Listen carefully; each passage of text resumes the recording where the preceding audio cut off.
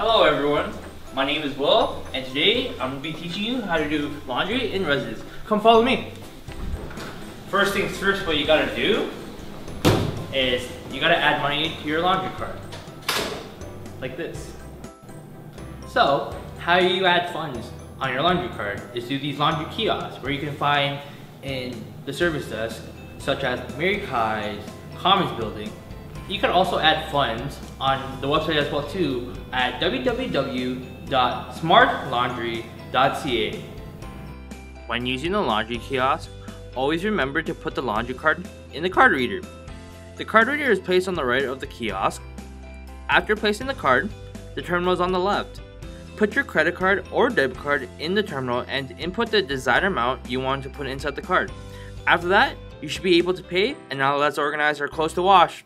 First things first, you have to separate your laundry.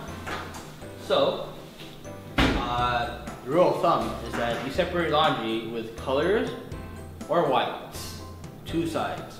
So this and grays are considered whites. This is a color one.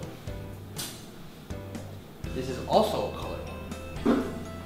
This is a white. You put this on that side. So, when adding your load into the washer, you're gonna use detergent also. And depending on the size of the load, there's also there's instructions on the back of the detergent on what's the proper size to use the, uh, the detergent for, for the load. So now you, you know how to put detergent in the washer. We're gonna show you how to do the actual thing. So you're gonna take this dirty pile, which is the color pile, and you're gonna put it in here. And after that, you're gonna put the detergent onto this. When using the washing machine, there are many options provided. For soil, it usually varies on the amount of dirt that is in your laundry. The options that are usually provided are light, medium, heavy, and small load. Light is for delicate fabrics, medium is for regular fabrics, and heavy is for sturdy fabrics. For cycle, it usually depends on the clothes that is being washed. So normal is basically for cotton, perm press is basically for synthetic, and delicates are basically for fragile items. Make sure to read your garments on what cycles to wash. With the temperature option, it usually varies with the garment. For an example, hots are usually used for whites, warm and cold is used for colors, and it is recommended for delicates to use cold when washing.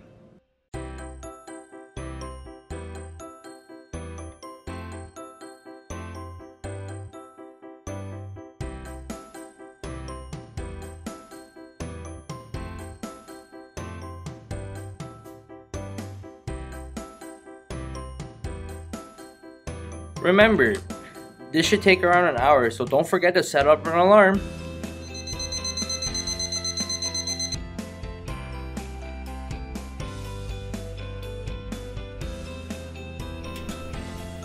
So now that your laundry is done, what you're gonna do is you're gonna throw this into that, which is the dryer. So once you put all your uh, laundry into the dryer, the last thing you need is dryer sheets. And soon after, I'm gonna teach you how to use the drying machine. When using the dryer, the options that are indicated are high temperature, medium temperature, low temperature, delicates, and no heat. How your laundry dries varies.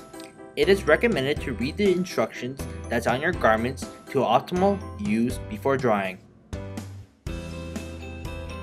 Now that you're a laundry expert, I hope you enjoy this tutorial on how to do laundry.